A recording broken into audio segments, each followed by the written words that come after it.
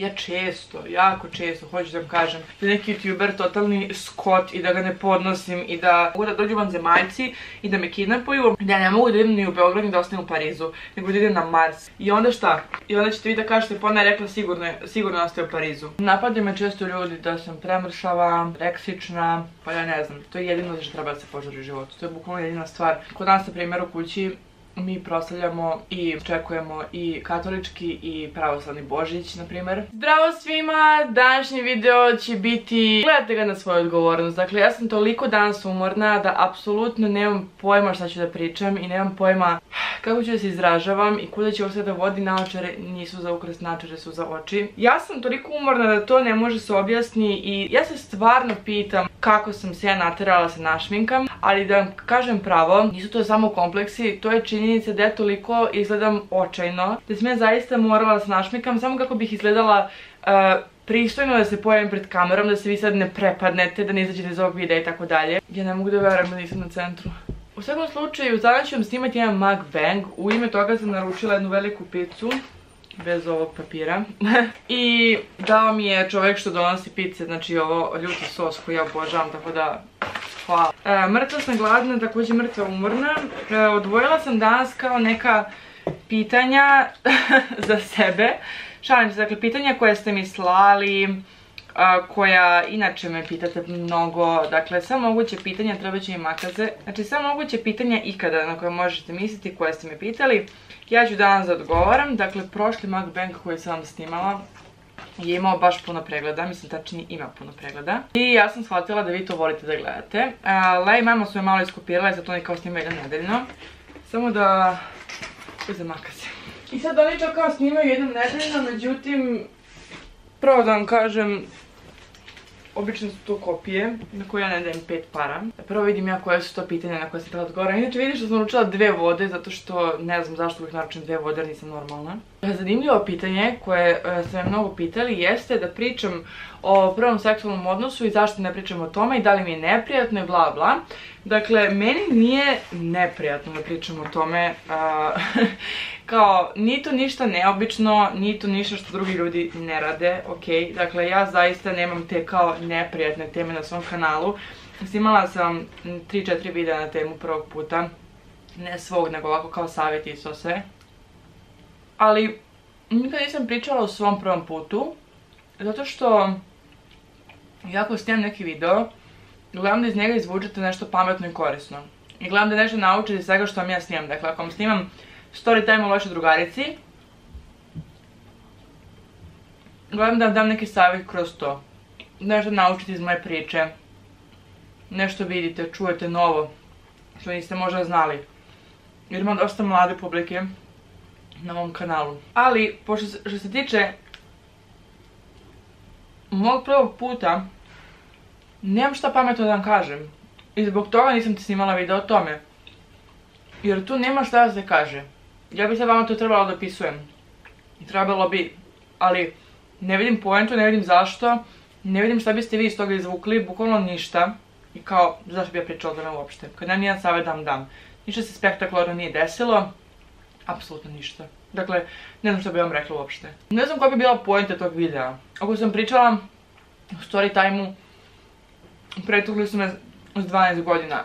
Izvukli ste neku pouku. Ako sam pričala o loši drugarici, izvukli ste neku pouku. Ako sam pričala ne znam ja čemu, uvijek je neka pouka. Ako sam pričala u svom prvom putu, koja je pouka? Ništa se nije desilo što ja vama mogu kao da izvučem i kažem, e na to obratite pažnju, bukvalno. Pritom sam snimala video o prvom putu, kao savjet i to, timete da na mom kanalu, snimala sam tačno godinu dana. To ako vas zanima možete ovdje pogledati. Mm, pitali ste me također što mislim o vezi na daljinu. Da li mislim da može da uspe, da funkcioniše, bla bla bla bla. E, veza na daljinu, e, imam jedno mišljenje koje će možda da uvredi neke ljude, ali meni je jako žao. Ja mislim da veza na daljinu jedino može da funkcioniše ukoliko počne na daljinu. U smislu kod prvog dana vi znate da ne živite zajedno. Mislim, čak nije na istoj državi to sve. Naravno, znači ne u istoj državi daleko ste. A ako je veza godinama bila na blizinu, što se kaže, dakle ako je bila normalna veza, vi ste godinama bili kao zajedno, ili nije ni godinama, godinu dana i kao živjeli ste blizu i mogli ste da se viđete i onda kao odjednom ne možete i odjednom se neko preselio, to je mnogo teško. Dakle, postoji šansa da to preživi, uvek postoji šansa ako se tvoje ljudi vole, nikakav problem. Ali jednostavno je mnogo teško i mnogo često puca i bila sam svedok mnogim vezama koje su pukle, baš iz tog razloga što su na kraju bile na daljinu i ljudi to nisu mogli da izdrže. Tako da, a takođe, bilo da je počela tako ili da je odjednom postala veza na daljinu, razumevanje i strpljenje su, ne da su bitni, nego su onako osnove vaše veze. Dakle, ako nemate strpljenje u toj vezi jer i, i mnogo volje da razumete drugu stranu, bolje raskinite odmah nego da se mučite. Dakle, mora da, da bude previše razumevanja i strpljenja i volje da se radi na tome, na toj vezi, da se tu nešto gradi, jer ako ćete vi da terate svoje, da budete tvrdoglavi, da se durite za svaku sitnicu i da kao pravite probleme za sve živo, mm, vi ćete raskinuti, izvinite, ali vi ćete raskinuti za dve nedelje, mislim kao maksimalno za dve nedelje. Naročito jer kao razgovori preko telefona su zaista otežani već i nisu kao razgovori uživo. Ljudi se mnogo lakše uvrede, mnogo manje razumeju što je ovaj drugi teo da kaže i onda morate da imate previše smirenosti u sebi i strpljenja za tako nešto morate da se žrtvujete mnogo. Zato mi ste pitali koje su to pitanja na koje ne želim da odgovorim, koje se kao stalno vrti, ali nigde odgovorim. A sam ja spora ili šta jedem dalje preobarčim? Mm, to su pitanja privatnog karaktera. Dakle, pitajte me s kim sam u vezi. Um, pitajte me neka jako privatna pitanja. Ili u vezi porodice, ili u vezi prijatelja. Na koja ne da neću da odgovorim, nego ne mogu. Jer nije sve stvar toga u životu da li ja hoću nešto da odgovorim. Nekada ne mogu da vam odgovorim na nešto, jer nije vreme, nije trenutak, drugi ljudi to ne žele da kažem, bla bla bla bla dakle ima milion razloga zašto neke stvari ne mogu da kažem. A ne samo, jer sam se ja taj, taj dan probudila nervozna i odlučila da ja vama kao nešto ne ispričam. Dakle, ne. E, nije to baš tako kako se vama čini i neke stvari bih ja jako voljela sama da ovaj, podelim, ali zaista ne mogu. A jer nije došao trenutak za to. Možda nikad neće doći za neke stvari, možda će za neke doći. Također na šta još ne mogu da odgovorim. Pitate me često mišljenje, e, za moje mišljenje o nekim drugim youtuberima, nekim njihovim ovaj, potezima, e, kontentu, tome što su rekli, uradili, tome kakvi su kao ljudi. Ja često, jako često, hoću da vam kažem, da neki youtuber totalni skot i da ga ne podnosim i da uživo kad ga vidim ne želim ćao da mu kažem i da me neki ljudi jezivo nerviraju i to sve stoji. Eto vama želim nekada kažem, ali vi sami znate vrlo dobro da kad bi ja vama rekla ta youtuberka je jako fake, pravi se fina zarad pregleda i vašeg odobravanja, u stvari je zmijetina na kvadrat. I kad bi vam rekla ta youtuber je mnogo jadan, to što nosi... ne znam, uh, Gucci patike na svom Instagramu ili whatever that is, znači uh, zapravo u real life-u neće da da 200 dinara za Nescafu, znači tako neke stvari ja kad bi vama rekla ovako javno, uh, naravno je počela drama, mislim jasno vam ideja sad kao zaista nemam vremena niti želje, niti imam 5 godina pa dolazim neke drame i te gluposti, i naravno da postoji youtuberi koji ne mogu bukvalno očima da vidim koliko su retardirani, ali zaista te neke stvari ne mogu da kažem online. I onda me tako, jako često pitate šta mislim o nekom youtuberu i koliko god moje mišljenje bilo zanimljivo, intrigantno, kontroverzno, mrzim ga, bla bla bla, nikoga ne mrzim zaista, to stvarno ne, nego prosto neki ljudi me nerviraju. Koliko god to bilo zanimljivo da ja vama kažem, ako ja to kažem, ja ću se posjećati s tom osobom e, i to javno, e, te stvari, nema mjesta za te stvari u mom životu, ne mogu to da radim, znači stvarno nemam vremena i nemam uopšte zašto to da radim. I takođe koliko god da ja svoje mišljenje imam, ponekad morate znati kada je vaše mišljenje samo vaše mišljenje i kada se apsolutno ne tiče nekoga drugog i kada jednostavno ne treba da ga iznosite javno, jer uh, to što ja mislim mora znači da ostali to misle ako me razumete. Pitali ste puno kako se snalazim u Parizu, inače kako se snalazim u inostranstvu sa stranim ljudima, dakle s ljudima koji nisu naši, ne pričaju naš jezik, drugačiji su, imaju drugačiju kulturu, tradiciju itd. itd. Pa pravo da vam kažem, ja se snalazim super. Dakle, ono što morate naučiti jeste da gde god da ste, vi nosite svoju kulturu u sebi uvek, čak i kada se privinete drugoj kulturi ili prihvatite neku drugu kulturu ili se na nju naviknete. Dakle, to da li ćete vi da se snađete u Francuskoj, Italiji, Australiji, nebitno, ne znači da vi više nećete biti Srbin ili Hrvat ili Bosanac ili dakle god da ste da me gledate. Dakle, vi ćete uvijek biti vi i kad prihvatite tuđu kulturu. Tako da, snaći se ne znači odreći se svoje kulture. Uvijek možete novim ljudima da pričate o svojoj kulturi i svoje države. I to je jako zanimljivo. I tako možete s mnogim ljudima da se šalite, zezate, smete. Jer to je zanimljiva tema. uklopiti se negdje je samo do vas, nije do drugih. Dakle, samo je na vama. Ne može neka država cijela se promeni da bi vam odgovarala. Da li ćete svi uklopiti, zavisno toga da li vi želite se uklopite, iskreno. I ako se potrudite dovoljno, uklopit ćete se jako brzo, bilo gdje. Dakle, ima super ljudi na kom god da ste kontinentu, koji god državi. Gdje god da ima ljudi koji će biti super prijatelji, koji će biti super zadruženje, koji će to obožavati. Dakle, uvek, uvek ćete naći nekoga. Dakle, moja kamera je malo preprestala da snima, ne znam zašto, e, nije do mene. Ja sam tek sad shvatila da ovaj način, ima toliki oci da ćete vi polujeti dok budete gledali ovaj video, tako da ono... Malo manje držimo noćima, ali... Posljednje vrijeme, pošto je nešto iznad, i mene inače puno boli glava, kao boli me posljednje vrijeme, pa sam mislila da nije možda toga što ja na daljinu ne vidim baš tako savršeno, a izbjegavam da nosim ove naočare. Pa rekao da isprobam sve. Neko me je skoro pitao da li sam svjesna da ugrožavam svoje zdravlje zbog izglednjavanja. Izglednjavanja. I ovaj... Napadaju me često ljudi da sam premršava, reksična, da ovo i ono. Istina je da sam ja jako čudno građena. Također je istina da ja na slikama izgledam definitivno dosta mršavo. Ponekad mršavije nego uživo. Sve zavisi kako koja slika. Ja umem da poziram tako, umem da editujem slike tako, umem da napravim ne znam nija šta od slike da ne izgleda ovako i onako.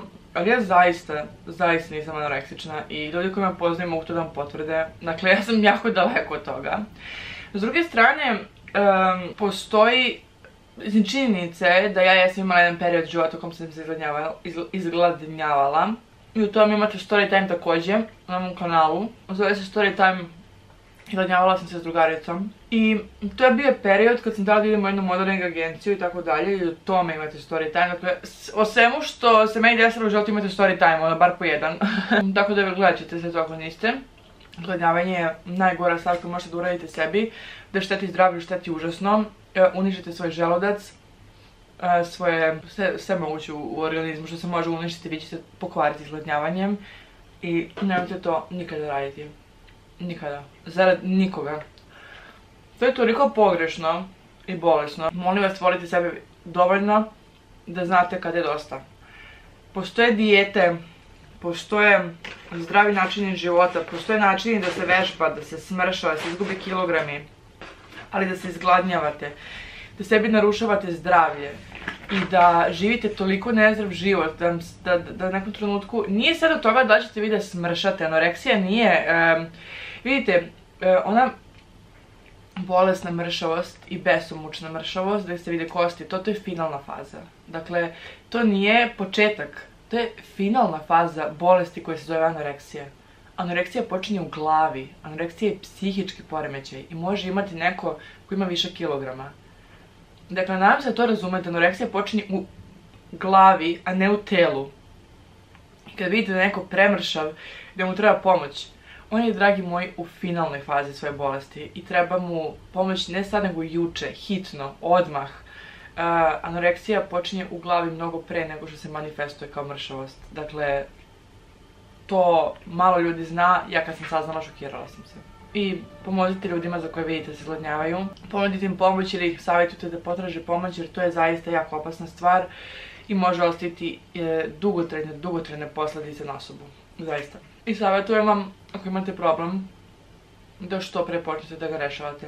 Jer ako budete čekali s takvim stvarima, pa ja ne znam, to je jedino što treba da se požuri u životu. To je bukvalno jedina stvar za koju kao morate požuriti. Jedina. I ja često dobijam poruke da me pitate za to, šta da radite, kako sebi da pomognete. Nažalost, ja nisam ni diplomirani psiholog, ni psihijatar, niti ja znam što treba da se radi. Nemojte pitati mene, molim vas, pitajte nekoga drugog koji je za to stručan. Ja zaista nemam pojma.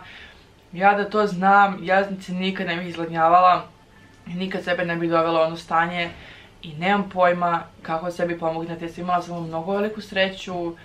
I ja sam zaista imala samo jako veliku sreću, mnogo vere u sebe, mnogo vere ovako inače. Pitajte nekoga drugog za to stručan i jednostavno volite sebe, šta da vam kažem i nemojte to sebi da radite, to je zaista preglupo, prestrašno i nema poente nikakve. Pitali ste me kako to kad se u kući praktikuju dve religije i slave, znači kad se jednostavno praktikuju ne slave, kako god da se to kaže, da ne znaš da sam rekla slave, svašta. Vi znate da kod nas na primjer u kući mi proslavljamo i dočekujemo i katolički i pravoslavni božić, na primjer i uskres i tako dalje. Jednostavno kod nas je to kući uvijek bilo tako, zato što tako nam je porodica. I ja mislim da je to predivna stvar, zato što na taj način dajete do znanja jednim drugima da nije bitno da li sebe nazivate ovako ili onako, nas se zajednički spaja ta vera i vera u jednog Boga, nema ih pet to je meni jako lepa stvar zato što onda imate više povoda za porodično kupljenja, za neko slavlje, za neke lepe momente sa porodicom i familijom. I na kraju dana je što je bitno da li se nešto naziva katoličkim ili pravoslavnim ili ne znam nija kako, ako vi zajedno kao porodica funkcionišete i volite se, apsolutno ništa nije bitno, možete sesti za sto i napraviti porodičnu večeru i bez da imate neki povod koji se zove neki praznik ili slično. Pitali ste me što planiram posle fakulteta kad završim studije teška tema, šalim se. pa planiram se zaposlim, logično, i planiram da to gdje se zaposlim i tekako spojim sa svojim sadašnjim, nazovite, poslom, Instagramom, YouTubeom i društvenim mrežama, jer to je danas jako veliki jako veliki utjecaj, ima jako veliku ulogu igra u bilo kom poslu, naročito mislim poslu kojim ja želim se bavim što se tiče marketinga, luksuznog marketinga i slično mnogo ste u prednosti kada se već, kada se već bavite društvenim mrežama, to je sve marketing, mnogo ste u prednosti i već ste u tom poslu, tako da također i pitate dokle ću ja da snimam i dokle ću ovo i ono i kad mi je kraj, nikad. Mislim ja zaista želim da snimam što duže i planiram da spojim to gdje ću raditi, u kojoj na primjer kompaniji ili slično ne spojim s ovim što već radim. I to mi je plan. Mm, pitajte me ću ostati ovdje jer idem u Beograd kad začnem studije. E, ne volim da planiram unapred kao da vam kažem ja sigurno ostajem ovdje ili ja sigurno se ne vraćam tamo. Dakle, ne postoji kao e, neka garancija meni će nešto 100% sigurno se desi jer to ne postoji u životu i apsolutno ništa nije sigurno, ništa. Znači mogu da dođu zemaljci i da me kidnapuju, da ja ne mogu da idem ni u Beograd ni da ostanem u Parizu, nego da idem na Mars. I onda šta? I onda ćete vi da kažete, pa ona je rekla sigurno, sigurno ostaje u Parizu. Ja naravno da smatram da su ovdje bolje šanse za pronalaženje posla i da imam mnogo više prilika i da je Pariz vrhunski grad za o čim ja želim se bavim i želim da ostanem ovdje. Ali ukoliko se desi nešto Kina pojme zemaljci. Da bi im previše dobru priliku za posao u Srbiji. Ja ću se vratiti, nisam ja glupa. Ali šta ja trenutno želim, želim da ostanem u Parizu. A onda s druge strane, možda se ja udam za Amerikanca, odem u Washington, Uh, on postane predsjednik Sjedinjenih američkih država, ja budem first lady i vidite, život je čudan, znači nikad ne znate šta će da se zadesi. Uh, ja mislim da bi to bilo sve za ovaj video jer zaista ne mogu više snimam, nisam više ni gladna. I mislim da sam odgovorila na dovoljno pitanja, rekla sam zaista svašta u ovom videu. Znam se nisam rekla ništa glupo, ali sam jako umorna i sad ću ići spavam odmah jer ne znate kakav je dan iza mene, kakva noć i kakvo jutro. Ako vam se ovaj video svidio, obavezno ga lajkujte, subscribe se na moj kanal, pišite mi direkt da li želite još mukbangova, mukbanga, šta ne znam kako vi to zovete. E, naravno, javite mi koje su još teme na koje želite da vam pričam, na koje želite da odgovorim, šta vas još to zanima i uvijek pokušam da odgovorim nešto kao pa zanimljivo da ne budu neka, neka glupa pitanja o mojoj omiljenoj boji i koga bih radije spasila iz vatre jer to zaista ne mogu. Uh, ja vas puno i volim, a mi se vidimo u nekom narednom videu. Ćao!